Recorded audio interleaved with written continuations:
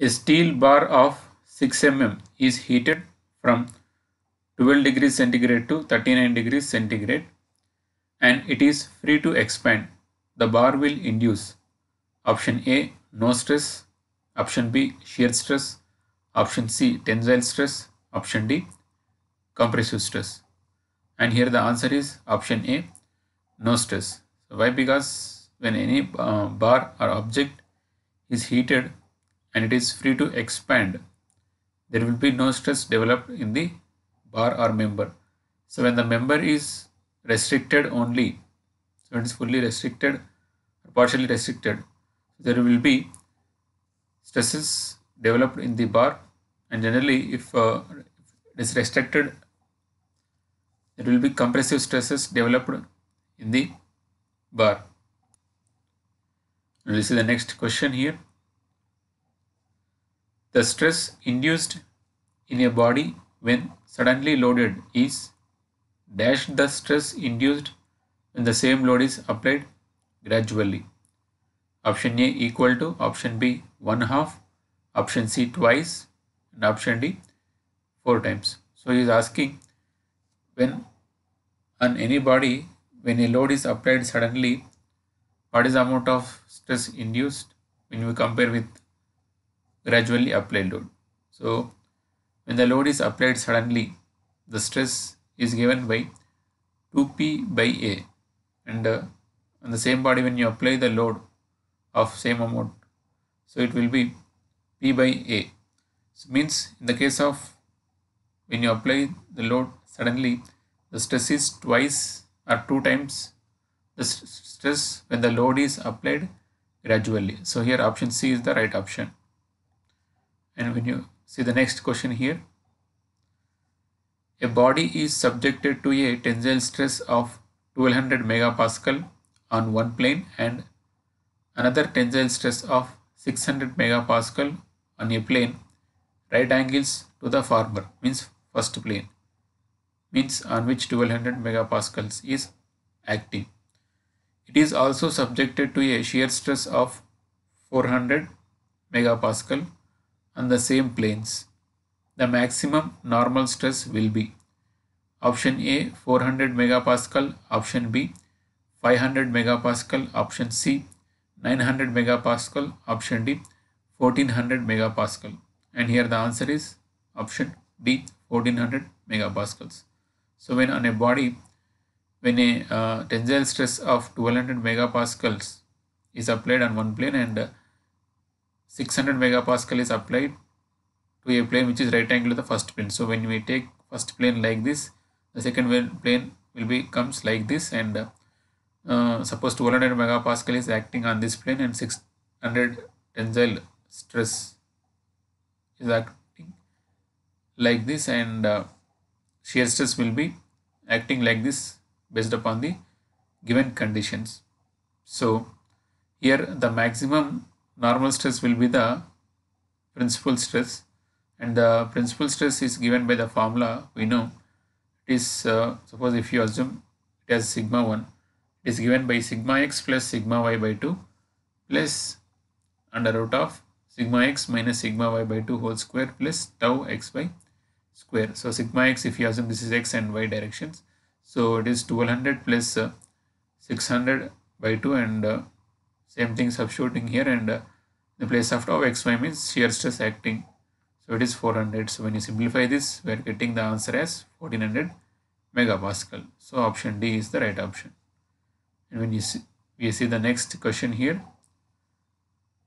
Two closely coiled helical springs a and b are equal in all aspects but the number of turns of spring a is half that of spring b so if the spring B having 10 turns, spring A is having 5 turns like that. If spring B is having 2 turns, it is having 1 turn like that. So the ratio of uh, deflections in spring A to spring B. Option A 1 by 8, option B 1 by 4, option C 1 by 2, option D 2. So the deflection of uh, spring closely coiled spring is given by delta is equals to 64 W into r cube by n by g t to the power of uh, 4 so where w is the load and r is the radius of the coil and n is the number of turns and d is the diameter of the spring wire and g is the modulus of rigidity and uh, here you can write uh, deflection of spring A as uh, 64 WA means load acting on uh, spring A RA cube NA by GA DA power 4 for the spring A and the same way the spring B. And here is given all aspects are constant but number of turns are different. So you can cancel all aspects and number of uh, turns in A is half of number of turns in B. So when we assume number of turns in B as like 2x number of turns in A spring A will be x so this ratio will be 1 by 2 so this is nothing but ratio deflection ratio between A and B and which is he is asking here so the ratio of deflection of spring A to B is 1 by 2. So option C is the right option. And we will see the next question here. A thin cylindrical shell of diameter d and thickness t is subjected to an internal pressure of P.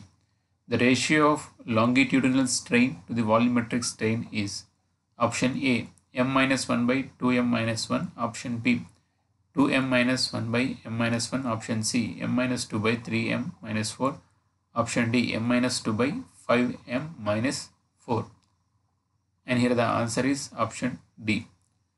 See uh, the thin cylindrical shells longitudinal strain is given by the formula PD by 2TE into 1 by 2 minus 1 by m where 1 by m is the Poisson's ratio and volumetric strain is given by PD by 2 to uh, 2 TE into 5 by 2 minus 2 by m. So when we here is asking the same ratio means the ratio between longitudinal strain to the volumetric strain. So the same thing we have written here and uh, so when we simplify here this term this term get cancelled and uh, when you take LCM here uh, it is 2m and here you will get m minus 2 in this term and here you get once again 2m is LCM for this and uh, here you will get 5m minus, uh, 4 and this 2m 2m cancels and here we will left with m minus 2 by 5m minus 4 so here the answer is option d is the right option here. And we'll see the next question. In the torsion equation t by j is equals to tau by r is equals to g theta by l. The term j by r is called. So here if you see here uh, if you send this j this side so you can write it as tau into j by r. And uh, he's asking what is the term this j by r is called. Option a shear modulus. Option b section modulus. Option c polar modulus. Option d none of these. So here the term j by r is called polar modulus or polar section modulus you can say so option c is the right option for this question when we see the next question here the point of contraflexure is a point where shear force changes sign, bending moment changes sign, and uh, option C is shear force is maximum, option D bending moment is maximum. So here the answer is uh, the point point of contraflexure is the point where bending moment changes the sign. So option B is the right option here.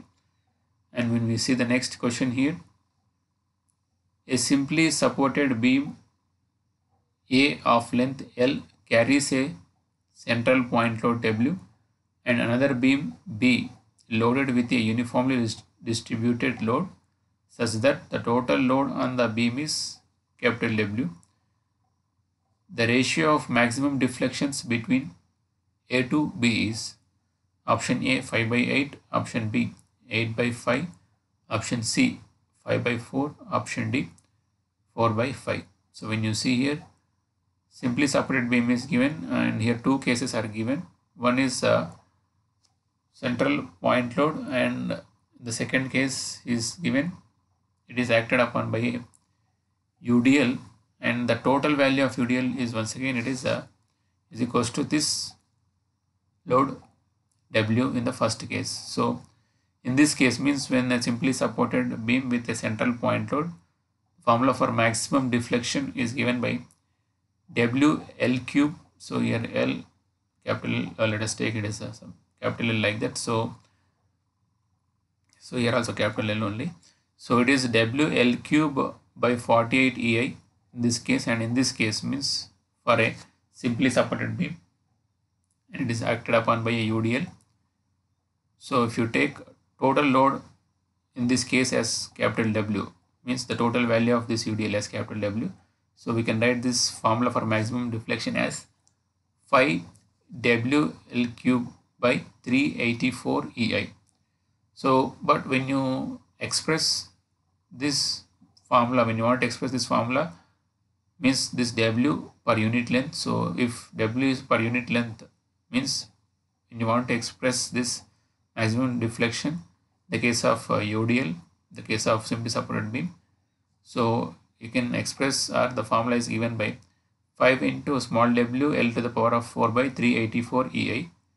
But here you can write small w into this total L is the value of to total UDL. So that is capital W. So when you replace here, so small w into L is uh, capital W and 1 L is course means it is L cube here. So the same thing we are writing here. So anyway, you can write like this for the case of uh, UDL and uh, is asking the ratio between maximum deflections between A and B. So this YA by YB, if you write WL cube by 48 EI divided by 5 WL cube by 384 EI. So when we simplify here, we left with uh, 8 by 5. So the answer here, option B is the right option here. And you see the next question here, the bending stress in a beam is dash the section modulus means it is directly proportional to the section modulus or inversely proportional to the section modulus.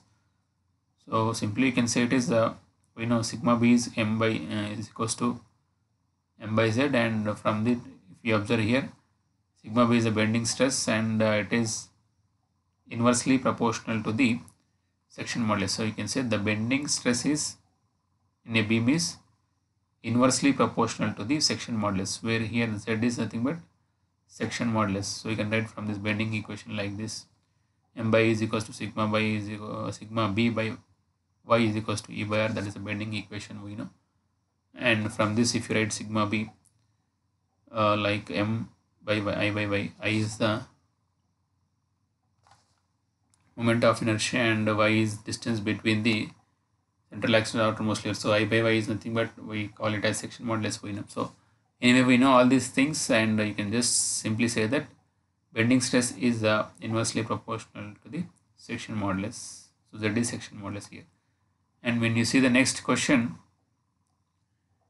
the bending moment in the center of a simply supported beam carrying a uniformly distributed load of w per unit length is option a is 0 option b wl square by 2 option C WL square by 4 option D WL square by 8 so is asking the bending moment value at the center of simply supported beam when carrying a UDL so this is the case suppose W per unit length and length of the beam is L and uh, A B are the extreme positions or supports you can see and see the center point for this beam.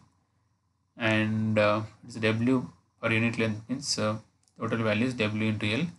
And when we uh, calculate we'll get uh, support reactions is WL by 2 WL by 2 and he's asking what is the bending moment at center means at C? We are taking C as a center point of this uh, total length of the beam. So let's C we require bending moment means so suppose when you come from this right to left so a reaction this will create a positive bending moment. So we can write WL by 2 is a force and uh, we require it this point so this distance will be L by 2 and minus so next this UDL up to this um, B2C this uh, UDL will create a negative moment.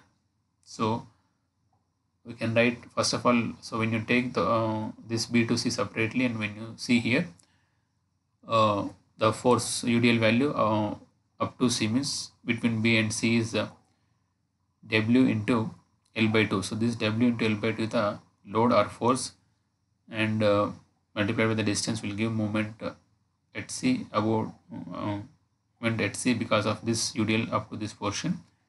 So anyway, W into L by 2 is the UDL value from B to C and this is replaced and kept as a point load at the center of this uh, beam. So anyway, this length is L by 2. So the center will be L by 4 from this uh, B or C. So it is replaced as a point load means this UDL is replaced as a point load to calculate the reaction sorry bending moment because of this uh, UDL. So so W into L by 2 is a load value and it is replaced. Center means so this distance is L by 4 and this distance is L by 4 so we require this distance. So anyway it is L by 4 so force is W into L by 2 and uh, distance means it is it will act here. We can, uh, we can replace like that and uh, force multiplied distance is means here is force acting and we require moment here because of this UDL so it will be L by 4 so L by 4 so when you write that so here it is a W L square by 4 and it is WL square by 8 so when you take LCM it is 8 it is 2 times of WL square by minus sorry minus WL square. And when you simplify here we'll get bending moment at C is WL square by 8 so when you come from this side also you'll get same thing. So anyway uh, this the standard case you can uh, simply remember as this is one of the standard case or you can calculate like this also. So anyway the answer here is option D is WL square by 8 is the option here. So for more videos please uh, subscribe and activate bell symbol. And also please share my videos with your friends. Please like it share it with your friends and don't forget to subscribe. Thanks for watching